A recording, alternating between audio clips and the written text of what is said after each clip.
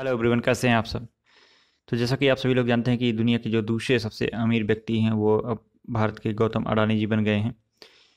तो चलिए हम बात करते हैं कि गौतम अडानी जी की स्टार्टिंग से क्या कहानी रही स्टोरी कैसे इस मुकाम को हासिल किए।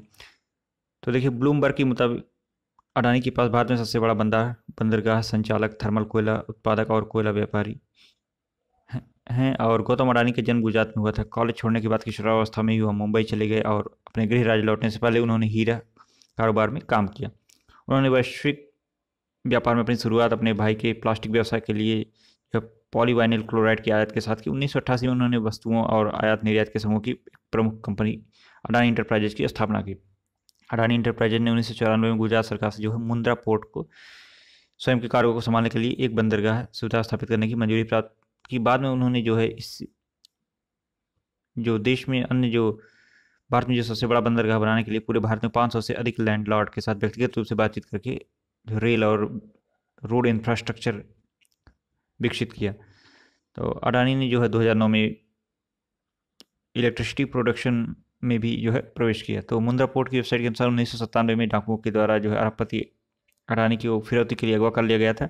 जब इसके अतिरिक्त जो है, जब आतंकी ने मुंबई पर हमला किया था तो उस समय वो ताज होटल में बंधकों के बीच में गौतम अडानी भी थे।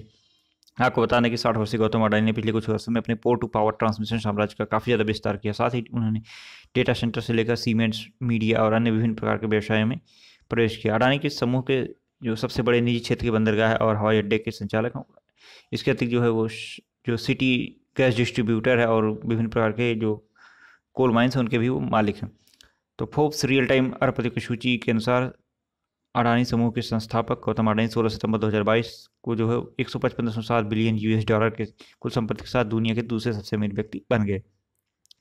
देखिए, चलिए इनके बारे में हम बात करते हैं। देखिए, उन्नीस सौ बासठ में इनका जन्म जो है गुजरात के अहमदाबाद में हुआ। 1980 में ये हीरा व्यापारी के रूप में काम किया। उन्नीस प्लास्टिक कारखाने में भाई की मदद के लिए अहमदाबाद लौट आए उन्नीस सौ अट्ठासी में खुद की कंपनी जो है अडानी इंटरप्राइजेज की स्थापना की। उन्नीस सौ चौरानवे में मुंद्रा जो पोर्ट है, उसे जो है इन्होंने राज्य सरकार से मंजूरी प्राप्त की उस पर कार्गो उतारने के लिए। उन्नीस सौ सत्तानवे में इनका अपहरण हो गया और फिरौती के लिए इन्हें बंधक बनाया गया। 2007 में Mundra ports and special economic zone में भारत में कारोबार प्रारंभ कर दिया। दो हज़ार आठ में ताज होटल में जो है ये आतंकवादियों ने इन्हें बंधक बना लिया था। और बाद में मतलब इस प्रकार से ये घटनाओं में, विभिन्न प्रकार की घटनाओं में ये बाल बाल बचे 2009 में अडानी पावर ने जो है, जो गौतम अडानी है वो पावर सेक्टर में भी जो है कारोबार करना प्रारंभ कर दिया। तो एक सौ पचपन दशमलव पाँच बिलियन यूएस डॉलर की संपत्ति के साथ गौतम अडानी दुनिया के दूसरे सबसे अमीर शख्स बन गए। आपको बता दें उन्होंने फ्रांस के उद्योगपति जो बर्नार अर्नॉल्ट हैं, उनको पीछे छोड़ दिया था। एक समय उनकी कुल संपत्ति एक सौ पचपन दशमलव पाँच बिलियन डॉलर के पहुँच गई थी। कुछ देर बाद वे फिर तीसरे स्थान पर आ गए। लेकिन देखिए, अब इस समय जो है वो टेस्ला और स्पेस एक्स के मालिक एलन मास्क से थोड़ा पीछे हैं और जो उनकी संपत्ति वो दो सौ तिहत्तर दशमलव पाँच बिलियन डॉलर। देखिए, ये जो है ना, ये पर पर डे जो स्टॉक होता है, वो घटता बढ़ता रहता है। तो उसी के अनुसार ऐसा होता है कि कभी कोई ऊपर आ जाता है, कभी नीचे आ जाता है। लेकिन जो गौतम अडानी जी इस प्रकार से से इन्होंने जो उपलब्धि हासिल की, वो बहुत बड़ी बात है। आज सबसे ज़्यादा गौतम अडानी की संपत्ति बढ़ी थी। मतलब सोलह सितंबर 2022 को गौतम अडानी की संपत्ति सबसे ज़्यादा बढ़ी थी। सोलह सितंबर को ही उनकी जो संपत्ति थी, उसमें चार बिलियन यूएस डॉलर बढ़ी थी। वहीं एलन मास्क की कुल संपत्ति सात सौ नवासी मिलियन डॉलर बढ़ी।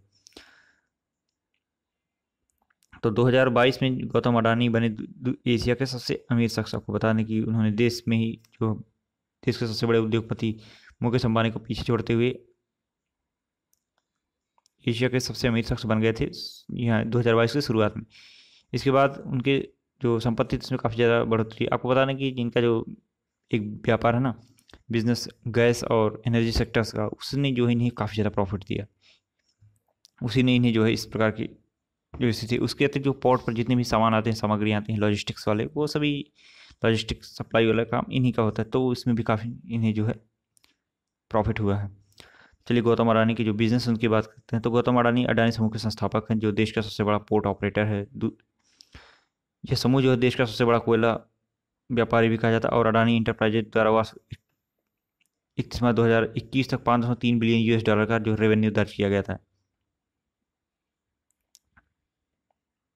आपको बता दें कि इन्होंने जो है एन में जो है उनतीस प्रतिशत हिस्सेदारी हासिल करने के लिए भी ये तैयार है। अभी जो है कुछ जो यह सौदा है ना बाज़ार नियामक सेबी की मंजूरी के अधीन है।